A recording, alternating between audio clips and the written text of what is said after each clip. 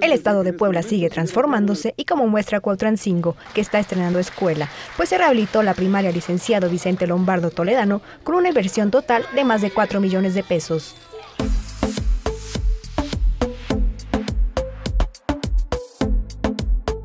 Pues me gusta mucho porque antes la escuela ya se veía muy viejita y ahora se ve mejor y pues vamos a poder estudiar todos mejor.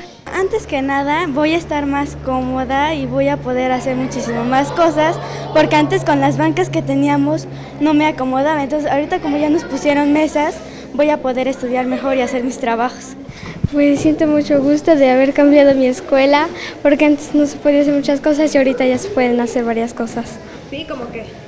Como salir más, no ir a otros lados. Esta escuela cambió por completo, se pintó, impermeabilizó, se cambiaron pisos, cancelería, se rehabilitaron los sanitarios y la red eléctrica. Ahora los niños poblanos pueden disfrutar de una escuela digna con mobiliario de calidad. Entendemos que no se le puede exigir a los maestros si no les damos condiciones adecuadas para que cumplan con su trabajo. Y en este contexto hemos invertido más que nunca antes en la historia de Puebla en infraestructura educativa. En Puebla ya no hay más escuelas abandonadas porque el gobierno del estado ha trabajado en el programa Escuelas al 100, que fomenta el estudio y desarrollo de los pequeños para que en un futuro tengan mayores oportunidades. Invertimos más que ningún otro estado de la República en capacitación magisterial. Mucho antes de que se aprobara la reforma educativa, nosotros en Puebla ya estábamos con un programa diseñado y vinculado siempre a la calidad de la educación.